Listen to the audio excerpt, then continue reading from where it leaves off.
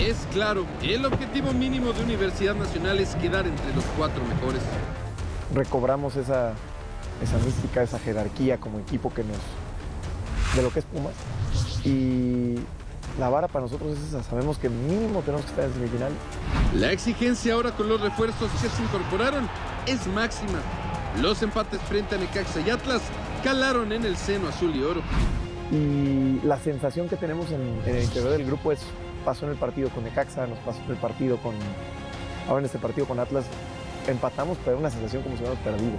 Creo que el, el generar esa mentalidad en el equipo es lo que hoy en día nos tiene como un equipo digo, competitivo. Para llegar al objetivo trazado desde el inicio, está prohibido en Pumas fallar. Tenemos jugadores que tienen grandes trayectorias, pero tal vez somos muy conscientes que somos un equipo que si baja un poquito el nivel, cualquiera nos puede ganar. Como si estamos a nuestro máximo, le ganamos al que sea.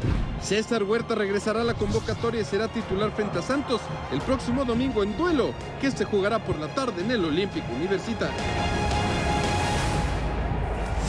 La Liga MX se vive en VIX. Disfruta de la emoción que generan los partidos del fútbol mexicano a través de nuestra plataforma. Recuerda, descarga el app de VIX y no pierdas detalle de la Liga MX.